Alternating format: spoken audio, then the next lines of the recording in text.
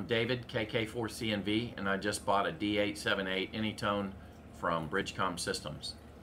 I chose to, uh, to enter the DMR uh, space as a digital mode uh, because I'm training uh, two technicians and I'm hoping that this will give them a chance to talk to people outside of the local repeater area and I chose Bridgecom Systems based on their uh, training that is available.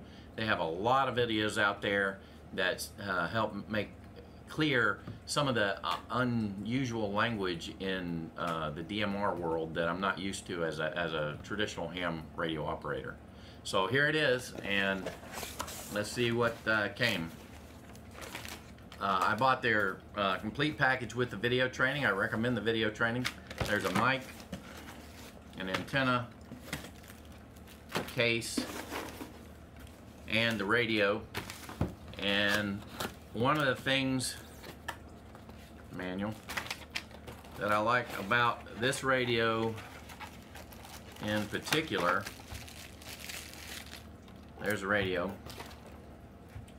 is that about half of this radio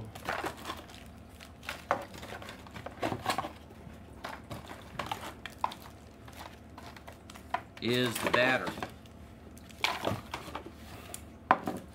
And this battery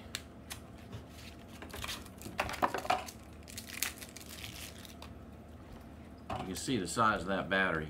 This battery is 3100 milliamp hours.